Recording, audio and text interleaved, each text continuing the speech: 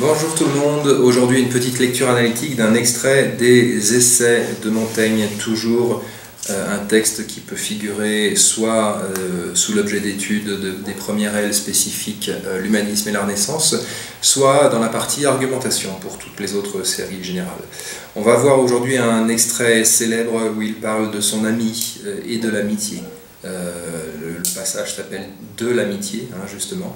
Son ami Étienne de la Boétie, et eh bien, on va étudier un extrait de cette partie des essais, si vous voulez bien. Alors, les essais de Montaigne, eh bien, c'est une œuvre assez euh, polymorphe, hein, dans laquelle il y a plein plein de choses euh, que l'on peut dire et que l'on peut commenter, et notamment une des caractéristiques qui revient euh, de façon insistante et qui est aussi une caractéristique de l'époque de Montaigne en général, la Renaissance, eh bien, ce sont les références permanentes à l'Antiquité. Alors, Montaigne, ici, parle d'une expérience personnelle, comme c'est très souvent le cas dans l'œuvre, hein, une expérience de l'amitié, et euh, il, cela fait aussi écho et cela fait référence au philosophe grec Aristote qui, dans son éthique à Nicomaque, eh bien, avait également traité euh, de ce thème, des thèmes du bonheur et de l'amitié. Euh, il y a donc cet aller-retour permanent qui, dans cet extrait, à la fois et dans l'œuvre en général, les essais entre les références à l'Antiquité et l'expérience personnelle de Montaigne. Alors cet extrait de l'amitié est extrait du chapitre 27 euh, du livre 1 euh, des extraits. Eh bien, on va voir comment Montaigne euh, parle de cet ami intime, auteur du discours de la servitude volontaire, et qui est mort prématurément et dont la mort a durement affecté Montaigne, mais aussi influencé l'écriture des essais. Alors on va lire tout d'abord un extrait de ce texte. En observant la façon dont procède un peintre que j'ai à mon service, l'envie m'a pris de l'imiter. Il choisit le plus bel endroit et le milieu de chaque mur pour y placer un tableau, élaboré avec tout son talent. Puis, il remplit l'espace tout autour de grotesques, qui sont des peintures bizarres, n'ayant d'agrément que par leur variété et leur étrangeté. Et en vérité, que sont ces essais, sinon des grotesques, des corps monstrueux, affublés de membres divers, sans forme bien déterminée, dont l'agencement, l'ordre et les proportions ne sont que l'effet du hasard. C'est le corps d'une belle femme que termine une queue de poisson. Horace, art poétique. Je suis volontiers mon peintre jusque-là, mais je m'arrête avant l'étape suivante, qui est la meilleure partie du travail, car ma compétence ne va pas jusqu'à me permettre d'entreprendre un tableau riche, soigné et disposé selon les règles de l'art. Je me suis donc permis d'en emprunter un à Étienne de la Boétie, qui honorera ainsi tout le reste de mon travail. C'est un traité auquel il donna le nom de Discours de la servitude volontaire. Mais ceux qui ignoraient ce nom-là l'ont depuis et judicieusement appelé le contraint. Alors, on va voir dans cet extrait trois axes de lecture. Tout d'abord que l'écriture est envisagée par Montaigne, à l'image de la peinture, comme une représentation de l'homme. Ensuite, qu'il y a entre euh, Étienne de la Boétie et Montaigne notamment un dialogue qui est un dialogue intemporel. Et puis nous nous intéresserons pour finir à l'expression lyrique de euh, la relation amicale. Alors l'écriture est envisagée comme une représentation de l'homme par cette euh, métaphore, par cette comparaison en fait avec la peinture hein, qui est faite dans le premier paragraphe et qui était faite aussi euh, dans l'adresse au lecteur de Montaigne, dans le texte liminaire, hein, où il y avait ce même parallèle entre peinture et écriture il expose les règles euh, de composition et d'agencement pictural, hein, qui consistent à euh, proposer des grotesques, donc des tableaux sans véritable forme, un petit peu bizarres, un petit peu monstrueux, étranges, nous dit-il, et pour mettre en valeur la composition centrale, le tableau central, hein, euh, qui est le centre de l'attention. Euh, le parallèle donc est transparent en fait hein, et, très clair par la question rhétorique que pose Montaigne avec son propre texte. Que sont ces essais, ligne 5, sinon des grotesques, des corps monstrueux affublés de membres divers euh, ce parallélisme a toutefois euh, des limites, hein, puisque Montaigne, par l'expression de ce qu'on pourrait considérer comme un peu une fausse modestie, eh bien, dit qu'il n'est pas lui-même, hein, ma compétence ne va pas jusqu'à me permettre d'entreprendre un tableau riche, soigné, qu'il n'est pas en mesure de euh, composer la pièce centrale, la pièce picturale centrale. Et cette fausse modestie, en fait, sert à laisser la place à son ami euh, Étienne de la Boétie, puisque euh, c'est, nous dit-il à la ligne 11, Étienne de la Boétie qui honorera ainsi tout le reste de mon travail. La prééminence, donc, est laissée par Montaigne à l'œuvre d'un autre, à l'œuvre de son ami, et son œuvre personnelle, lui, et, euh, sert simplement de cadre, en fait, de mise en valeur de cette pièce centrale.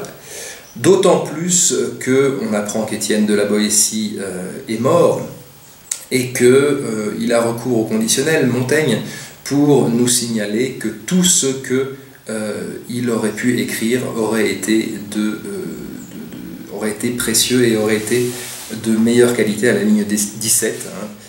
Il s'en faut de beaucoup que ce soit le meilleur, en parlant du, discours de la servitude volontaire, qu'il aurait pu écrire. Si l'âge plus avancé qu'il avait quand je le connu, il avait formé un dessin du même genre que le mien, et mis par écrit ses idées, nous pourrions, hein, toujours au conditionnel, lire aujourd'hui beaucoup de choses précieuses. Hein, donc ce euh, discours de la servitude volontaire que Montaigne présente eh n'est qu'un avant-goût, n'est là que pour donner une idée de ce que aurait pu être euh, le reste. Alors Montaigne a avec euh, Michel de la Boétie un dialogue qu'on peut qualifier d'intemporel. Alors tout d'abord, il nous explique à la ligne 24 qu'il est dépositeur de l'œuvre et de la bibliothèque hein, de son ami, c'est-à-dire qu'il garde la trace euh, de la pensée de cette personne qui a été vivante, qu'il a un lien qui est un lien intellectuel, mais aussi un lien sentimental. À la ligne 27, il le dit clairement, je suis particulièrement attaché au contrat et il en expose les raisons. Et euh, ces raisons eh bien, euh, sont de deux, ordres. En fait, la relation hein, que Montaigne a avec la Boétie est préexistante en fait à, euh, à leur rencontre. Hein.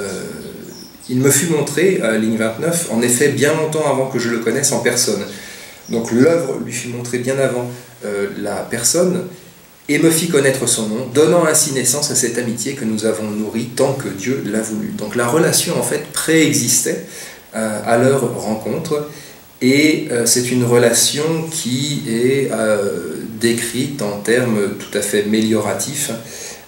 par exemple à la ligne 32, on en lit guère de semblables dans les livres hein, de relations telles que Montaigne et la Boétie en ont eu et euh, on n'en trouve guère chez, nos contemporains, c'est donc intemporel, hein, cela dépasse l'époque et cela dépasse aussi les époques en général. Cela se résume par Montaigne par une phrase euh, entre guillemets qui est interpolée dans le discours de, Montaigne à la ligne 40. Hein, euh, les raisons cherchées à cette relation extraordinaire eh bien, se résument à cette formule un petit peu mystérieuse parce que c'était lui, parce que c'était moi. L'expression que donne Montaigne à cette relation amicale est lyrique, hein, et c'est une chose assez rare que le lyrisme dans les essais, et que la référence à Dieu, au ciel, dans les essais également, mais là, il y a recours euh, de façon exceptionnelle, et de façon exceptionnelle, cette amitié aussi. Hein, on nous dit entre les lignes 32 et 34 qu'il y en a que ça se rencontre une fois en trois siècles, euh, il y a euh, cette comparaison qui est dévalorisante à la ligne 35 avec les amitiés ordinaires, hein, qui ne sont que euh, des relations familières. il y a l'idée de fusion hein, à la ligne 37, les âmes s'unissent et se confondent, nous dit-il. À la ligne 38, il signale une absence de couture. Hein, donc il y a ce caractère aussi indicible à la ligne 41, au-delà de ce que je peux en dire. Hein, il y a ce, fait que euh, cela s'explique par des forces euh, inexplicables, justement, euh, il nous le dit explicitement à la ligne 41, il y a une force inexplicable qui dépasse ce que l'on vit raisonnablement aussi à la ligne 44. Hein. et puis l'invocation du ciel à la ligne 45, je, crois que le ciel en avait décidé ainsi. Donc, hein, il y a une connaissance qui est intemporelle, euh, puisque à la fois la relation entre Montaigne et la Boétie préexistait à leur rencontre, mais aussi se poursuit après la mort euh, de, euh, Étienne de la Boétie. Alors pour conclure, on a vu hein, que l'écriture est envisagée comme une représentation de l'homme, ainsi que la peinture, que le dialogue entre Montaigne et la Boétie est un dialogue intemporel qui dépasse les époques, et que Montaigne donne dans ce texte euh, une expression lyrique à la relation amicale. On peut on conçoit aisément que c'était une amitié marquante hein, pour Montaigne et pour son œuvre. Et on peut envisager aussi les essais comme une espèce de continuation en fait du dialogue interrompu avec la Boétie à travers les livres, hein, à travers l'œuvre de la Boétie, à travers la bibliothèque de la Boétie, à travers la référence permanente euh, que fait Montaigne et que faisait la Boétie et que font tous les euh, gens euh, de la Renaissance, la référence à l'Antiquité. Et puis également, cette continuation du dialogue eh bien, se fait par l'intermédiaire de lecteurs contemporains de Montaigne ou de lecteurs futurs, les lecteurs que nous sommes par exemple, vous et moi. Voici donc pour cette lecture analytique, d'autres vont suivre sur les essais de Montaigne. Euh, j'ai réussi à tenir cette fois-ci dans les 10 minutes euh, traditionnellement imparties, donc euh, c'est bien.